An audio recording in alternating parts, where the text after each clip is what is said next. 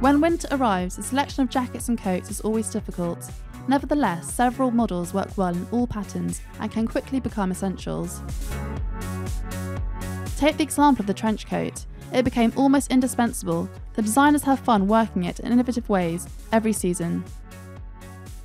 Il y a des trench qui sont un peu le leitmotiv de la collection. There are trenches that are kind of the leitmotif of the collection, but playing with it in a completely new way.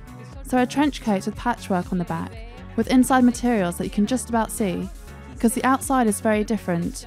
Or collars and shearling. Shearling is very present in this collection. Eh, Un shearling, le shearling est très présent dans la collection.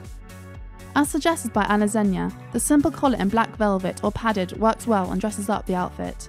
Of course, after the trench effect and the play on with colours, we quickly return back to the basics. The three quarter length coat in shades of black and grey, some of the play on textures, others figure hugging.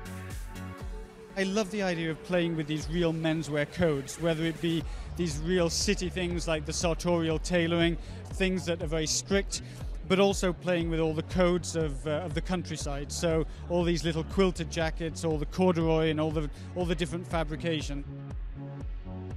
It is true that materials like the old cuts return and are created tastefully, bringing charm.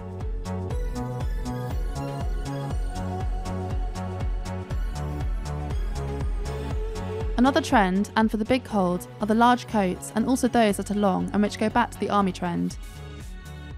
Because a military spirit is present this season in a khaki colour for straight coats and long ones worn like an officer.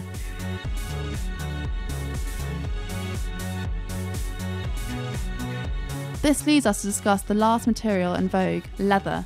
Whether it's for sportswear parka, a cloak, or a trench coat, leather is widely used and becomes a prominent element in the male wardrobe.